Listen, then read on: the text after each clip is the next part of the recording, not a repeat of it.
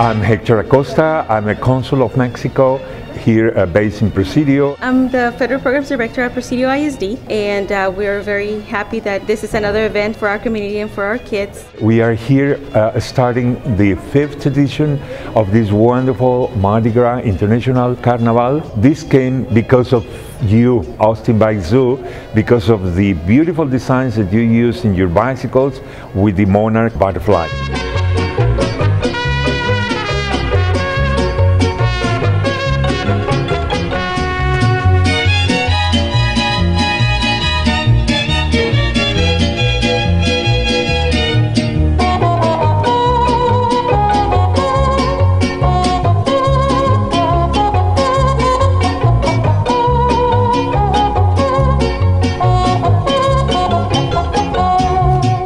Oh my gosh, it's so wonderful to see all the little kids' faces just light up, and especially remembering them from the school and having them come out and ride their bikes with us is awesome. We've just crossed the border into Ojinaga in Mexico, and we're about to go down to the plaza that they have, and then we're going to maybe let some of the kids that have ridden with us, that have come with their parents, ride with us, or any of the kids that are here in Ojinaga, just give them rides around the plaza.